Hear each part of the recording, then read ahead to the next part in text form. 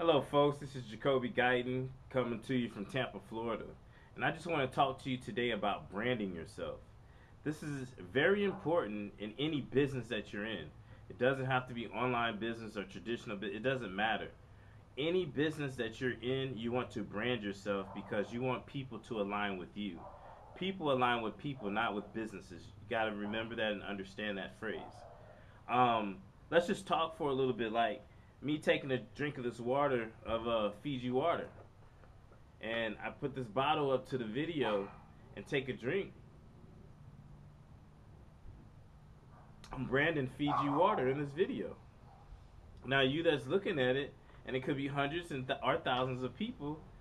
Now you're gonna see Fiji water and then want to go and run and get Fiji water because look how good it looks in this bottle. Look at the presentation of it. It's an awesome tasting water. So that's branding. But now, how can you brand yourself? If you're on internet marketing, and I'm not talking to the people that know how to brand yourself, I'm talking to the people that are just now getting on the internet. I'm talking to the people that don't know how to brand themselves. I'm talking to you. If you're in internet marketing, and you you want to brand yourself, get a domain name.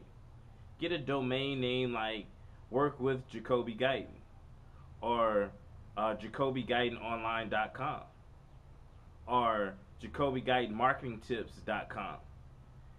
You want to put your name and whatever it is at the end or before on your domain name.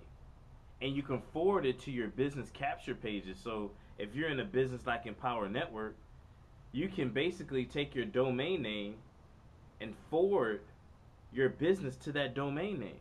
So when they come and work with you, they're coming directly to work with you, but through your business. Or if you have a blog, Jacobi Guyton, JacobiGuytonBlog.com. You can put forward your blog to your domain name so when people come in and look at your blog, they're coming and look at what you're sharing.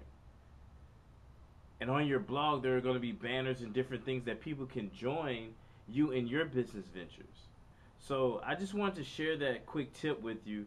Brand yourself. And I understand people say, well, if you don't have a name, you don't have to worry about branding yourself. I always believe you want to brand yourself out out the gate because you can always build your brand and your worth. You can always build it. And while you're building it, people need to know who you are. People need to know who who where you come from. People need to know your story. So, while you're building yourself, build relationships with others so other people can know who you are. That's my tip for the day. Brand yourself, make it work, take over the world, and I'll see you on the other side. Come join me on the beaches of the world. I'll talk to you soon. Peace.